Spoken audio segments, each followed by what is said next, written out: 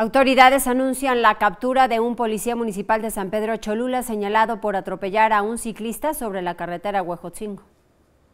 Al dar a conocer la muerte de un hombre de aproximadamente 35 años de edad, quien fue atropellado por una patrulla cuando circulaba a bordo de su bicicleta, la Secretaría de Seguridad Ciudadana de San Pedro Cholula precisó que el policía que manejaba la unidad oficial fue hospitalizado, pero al mismo tiempo puesto a disposición de la autoridad correspondiente para determinar su situación jurídica. Los hechos ocurrieron durante la noche del 1 de noviembre sobre la carretera Huejotzingo a la altura de la Junta Auxiliar de San Sebastián Tepacaltepec. La dependencia explicó que se recibió un reporte vía C5 sobre la comisión de un delito en San Cristóbal Tepontla, por lo que la unidad de la policía se trasladó al auxilio. Sin embargo, al circular sobre la carretera Huejotzingo a la altura de la calle 16 de septiembre, un hombre que viajaba a bordo de una bicicleta se atravesó en el camino. Aseguró que fue inevitable que la unidad lo impactara, por lo que de inmediato se solicitó la presencia de paramédicos de protección civil municipal, quienes tras valorar al hombre confirmaron que ya no contaba con signos vitales. En un comunicado,